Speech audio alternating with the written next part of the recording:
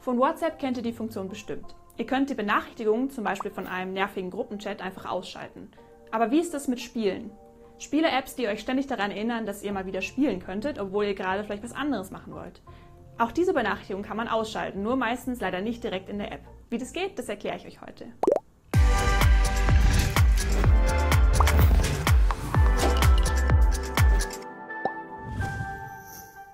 Zunächst müsst ihr eure Einstellungen öffnen. Und dann könnt ihr auf Benachrichtigungen klicken und eure Apps werden euch angezeigt.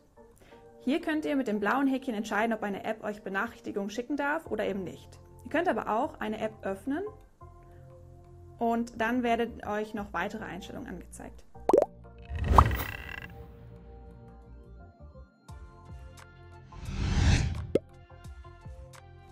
Zum Beispiel der App-Symbol-Indikator. Der zeigt an, wenn zum Beispiel eine App eine Benachrichtigung hat, dann ist so eine kleine 1 oder 2, je nachdem wie viele Benachrichtigungen sind, ähm, an dem App-Symbol direkt auf eurem Screen zu sehen. Das könnt ihr zum Beispiel ausstellen.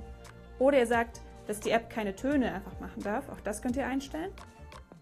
Und ihr könnt einstellen, ob die App auf dem Sperrbildschirm auch Benachrichtigungen anzeigen darf. Ihr könnt ihr Inhalte anzeigen, ausblenden oder keine Benachrichtigung anzeigen auswählen.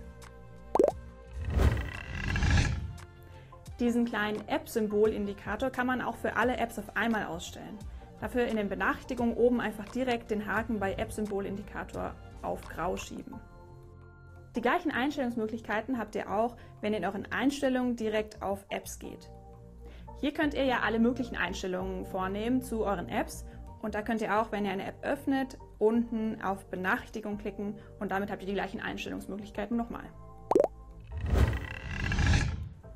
Gibt noch eine dritte Möglichkeit, wie ihr eure Benachrichtigung steuern könnt. Ihr könnt nämlich auch auf Sperrbildschirm gehen in euren Einstellungen und da dann direkt einstellen, ob überhaupt irgendeine App euch Benachrichtigungen auf dem Sperrbildschirm anzeigen darf oder ob ihr lieber wirklich nur Benachrichtigungen sehen wollt, wenn ihr euer Handy schon geöffnet habt.